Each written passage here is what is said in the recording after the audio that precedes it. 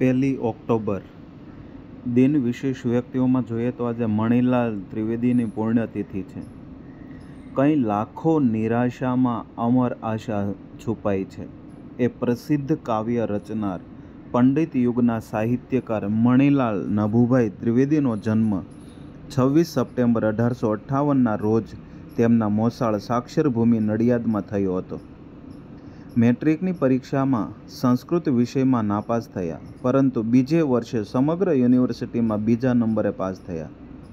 તેમની નડિયાદની હાઈસ્કૂલમાં શિક્ષક તરીકે, ત્યાર પછી સરકારી કન્યા શાળાઓના નિરીક્ષક પદે નિમણૂક થઈ હતી. તેઓ નારીની કેટલી પ્રતિષ્ઠા કરતા હતા, તેનું પ્રમાણ નારી પ્રતિષ્ઠા નામનો તેમનો ગ્રંથ જ કહી આપે છે. ધર્મચિંતક તરીકે શંકરાચાર્યનો અદ્વૈત સિદ્ધાંત તેમને વધુ આકર્ષ આકર્ષી ગયો હતો. ષડદર્શન, ઉત્તર રામચરિત જેવા દસ સંસ્કૃત ગ્રંથોનું તેમણે અનુવાદ સહિત સંપાદન કરેલું છે. ઉપરાંત, નૃસિંહાવતાર અને કાંતા નાટકો અને આત્મ નિમજ્જન કાવ્ય સંગ્રહ ઉલ્લેખનીય છે. એક બાજુ બુદ્ધિ અને જ્ઞાન તેમજ બીજી અદમ્ય વૃત્તિઓ વચ્ચે તેઓ ભીંસાતા જ રહ્યા.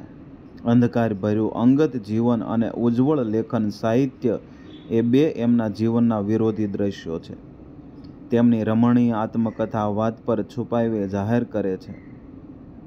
વિવેચક વિશ્વનાથ ભટ્ટે મણિલાલ ત્રિવેદીને અર્વાચીન યુગના શ્રેષ્ઠ નિબંધકારો નર્મદ અને કાકા સાહેબની સાથે બેસાડ્યા છે. માત્ર ચાલીસ વર્ષનું આયુષ્ય ભોગવી પહેલી ઓક્ટોબર અઢારસો અઠ્ઠાણુંના રોજ નડિયાદ ખાતે તેમનું અવસાન થયું હતું. એક બ્રાહ્મણ એક પ્રવાસી અભેગ માર્ગ પ્રવાસી, એમ વિવિધ તખલ્લુસધારી મણિલાલ દ્વિવેદીનો જન્મ આજે પણ ગુજરાતી વિચારક તરીકે સન્માન આપવામાં આવે છે. અસ્તુ.